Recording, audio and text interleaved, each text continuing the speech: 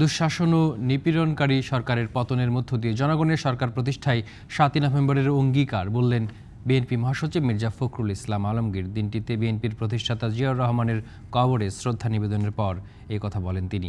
জনগণ ও রাজনৈতিক দলগুলোকে আহ্বান জানান সাতই নভেম্বরের চেতনায় ঐক্যবদ্ধ হতে। উনিশশো পঁচাত্তর সালের সাতই নভেম্বরকে বিপ্লব ও সংহতি দিবস পালন করে বিএনপি।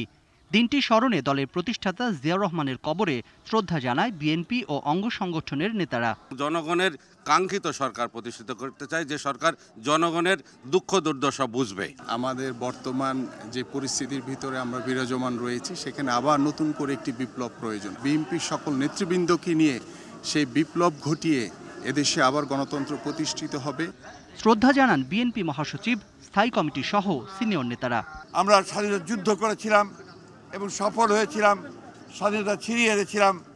তার যে চেতনা তার যে আশা এবং আকাঙ্ক্ষা তাকে বাস্তবায়িত করবার একটা সুযোগ সৃষ্টি করেছিলেন সিপাহী জনতা এবং শহীদ প্রেসিডেন্ট জিয়াউর রহমানের নেতৃত্বে। এই জন্যেই আমরা বারবার এই দিনটিকে স্মরণ করি এবং এই দিনটি আমাদেরকে অনুপ্রেরণা যোগায়।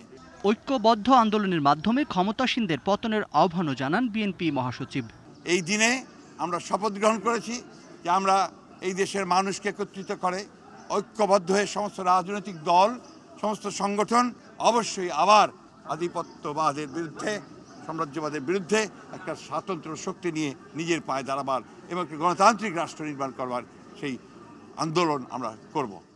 Zakari Ahmed DBC news, Dhaka.